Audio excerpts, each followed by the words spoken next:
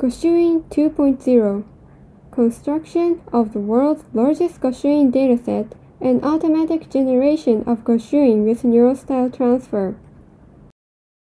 Goshuin are a type of vermilion stamp and inked text that can be obtained as proof of a visit to Shinto shrines or Buddhist temples in Japan. This study focused on exploring the possibilities of utilizing Goshuin data.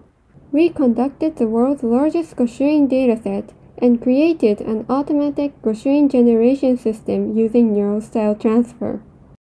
In this study, we collected approximately 4,000 Goshuin. Of these, about 1,000 Goshuin were collected by visiting temples and shrines, and approximately 3,000 were provided by a prominent book published. The dataset contains images of 4,000 collected Goshuin and the data about each.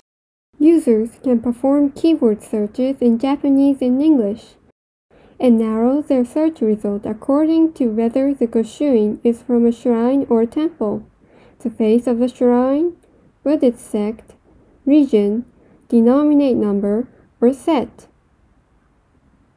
Users can view the Goshuin that match their search and download a zip file of those images and a JSON file of the relevant data.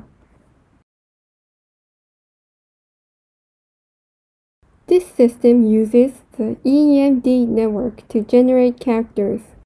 This system is based on neural style transfer and outputs images that use the fonts of Goshuin found in the dataset and text entered by the user. The user selects the Goshuin with the typeface that they want to imitate and the font that they wish to use before inputting the text that they want to see in the output. The characters in Goshuin are generated and compiled in real time. Goshuin can be generated by combining various style images and context images.